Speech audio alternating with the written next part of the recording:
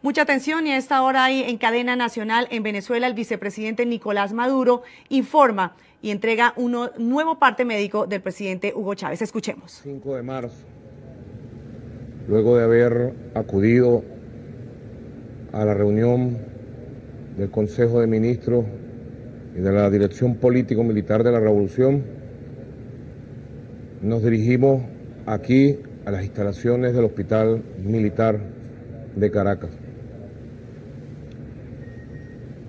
A seguir la secuencia de salud de nuestro comandante presidente. Y en el momento que nos encontrábamos recibiendo parte, acompañando a su hija, a sus hermanos, a sus familiares, recibimos la información más dura y trágica que podamos transmitir a nuestro pueblo.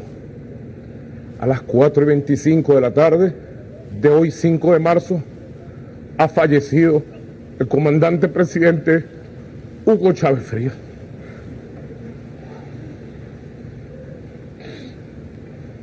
Luego de batallar duramente con una enfermedad durante casi dos años, con el amor del pueblo, con las bendiciones de los pueblos y con la lealtad más absoluta de sus compañeros, compañeras de lucha y con el amor de todos sus familiares. A su madre, a su padre, doña Elena, Hugo de los Reyes, a sus hermanos, a sus hijas, a sus nietos y a todo nuestro pueblo, le transmitimos nuestro dolor y nuestra solidaridad. Se ha previsto